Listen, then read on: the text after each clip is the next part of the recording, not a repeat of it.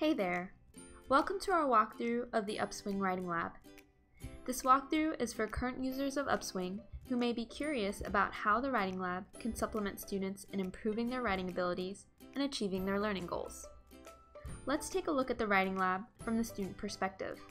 I'll start by logging into Upswing from my school's login page. Once I log in, I see that I can access a Writing Lab through my dashboard. The Writing Lab was designed to help students through every stage of the writing process. Within each of these sections, we've made step-by-step -step video guides that contain detailed explanations and easy to understand examples for each topic. Since this is our first visit to the Writing Lab, let's click on the writing process to get an overview of how to use the Writing Lab and how to complete each stage of the writing process. This is a great place to start if you want to learn about the writing process or how to use a writing lab most effectively. The sound's not on right now, but I wanted to play the video so you get an idea of how these videos are formatted. All of the content in the writing lab is categorized under the four stages of the writing process. I see them in my left navigation bar. Again, since this is our first visit, let's start with the first stage, pre-writing.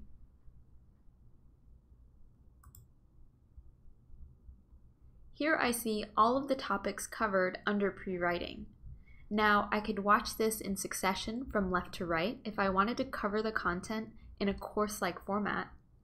Or if I just wanted a refresher in one of the topics, I could just click on, let's say, brainstorming, and see that there are two videos that I would need to watch to know everything I need to know about brainstorming. Again, on the left, I see all of the subtopics covered under pre-writing. I also see the three other stages of the writing process.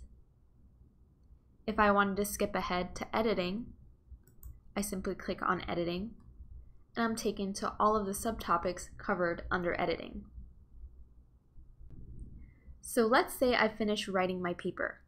The next thing I need to do is create a bibliography and cite my sources. Lucky for me, the Writing Lab has me covered. If I click on Citations, I'm taken to the citation tool CiteUp. Now, this isn't a typical citation generator.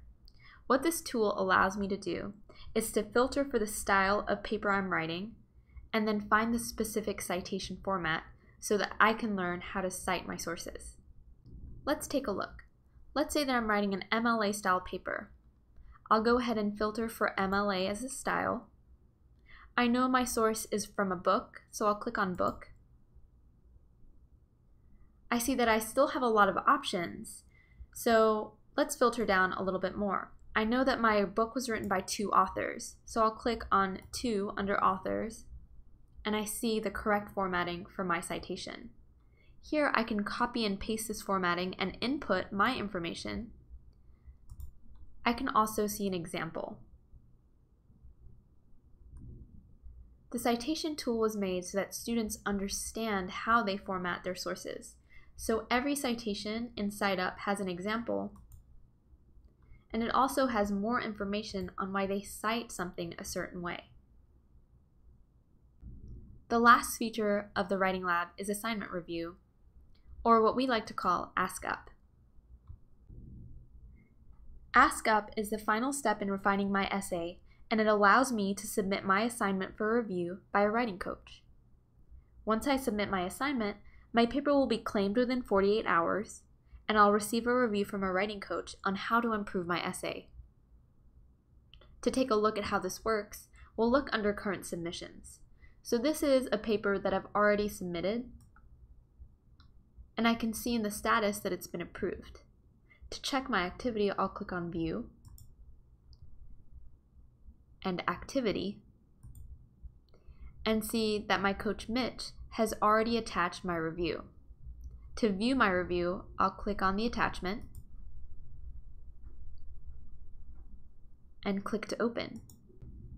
Once I open this review, I see that Mitch has written me a personalized review of my essay that contains my strengths, and areas that need more attention. This isn't a proofread or edited version of my essay. It allows me as a student to see what needs development and make those corrections myself. Thanks for watching this walkthrough of the Upswing Writing Lab.